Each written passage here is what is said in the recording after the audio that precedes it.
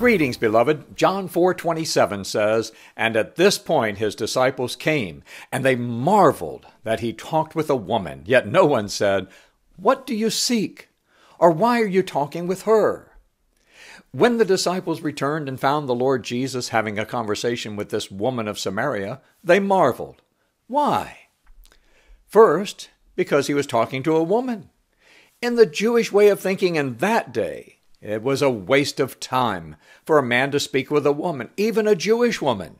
What a difference the Lord Jesus made.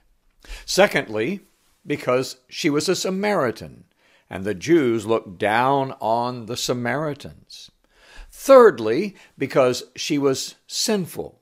They probably could tell that this woman had a sordid past, and they disdained her. However, they would have been wise to consider themselves and their own sin while they marveled in that the Savior spoke with this woman, they at least had enough wisdom to hold their peace and not ask, What do you seek from her? or Why are you talking with her?